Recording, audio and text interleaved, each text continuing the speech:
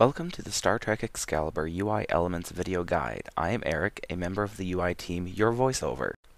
The UI team is pleased to present the first look at the building blocks that will be utilized to create the highly dynamic and easily moddable interfaces that are required for STE while holding to an inspired LCARS feel.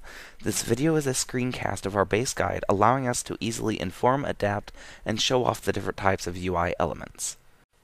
To start things off, we will take a look at the font selection. John did an excellent job setting down the base standards for usage and style settings, as shown here.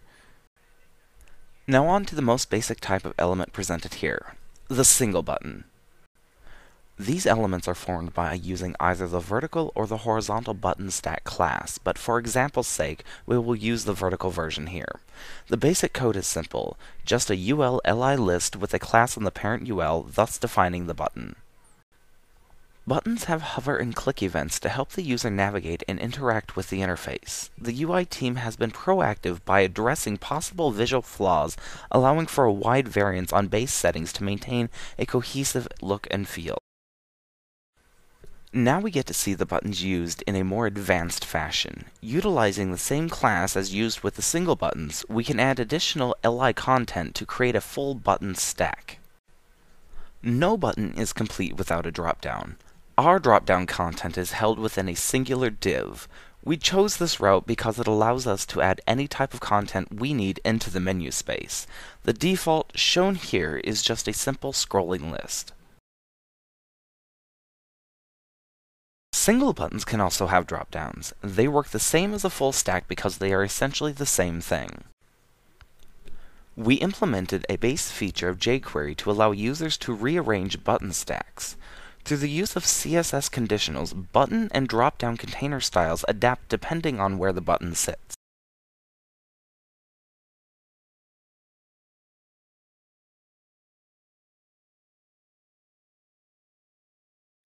One of the neat features we were able to add is the theme framework. If you've all noticed, all the elements so far have been rather blocky. While that works for some LCARS layouts, we needed more. The block style is simply the default look. To apply a new theme, add a second class to the parent UL element indicating what type of theme you would like to use. In total, we have six different types of styles making for a large combination of interfaces possible, all with the same code. Next up, we have the horizontal version of the button stacks. As with the vertical stacks, the horizontal version has the same code structure. The nice thing with the horizontal buttons is that we put into play a, just a small bit of JavaScript to dynamically set the button widths, eliminating the need to do math. This example is where we as a team want UI creation to be seamless and as simple as possible.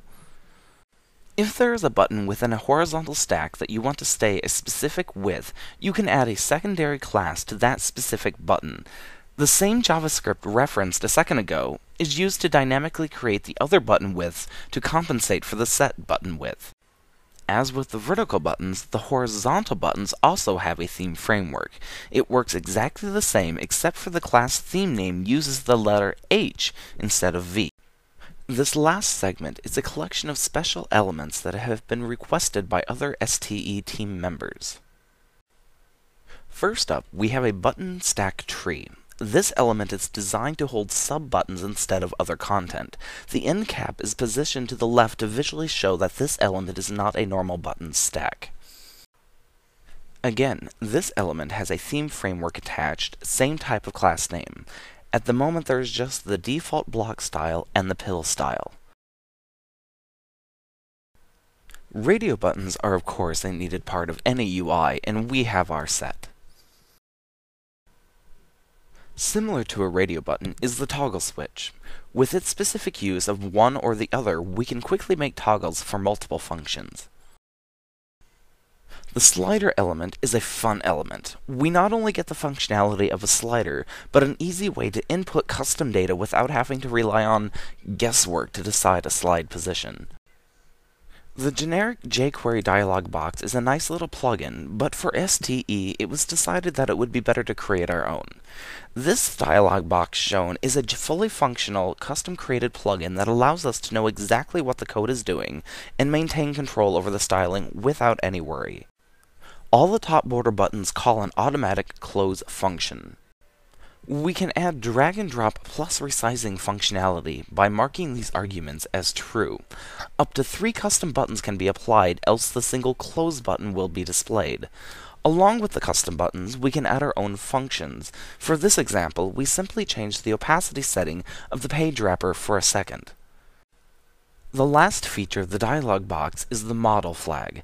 This forces the user to interact with the UI in some fashion.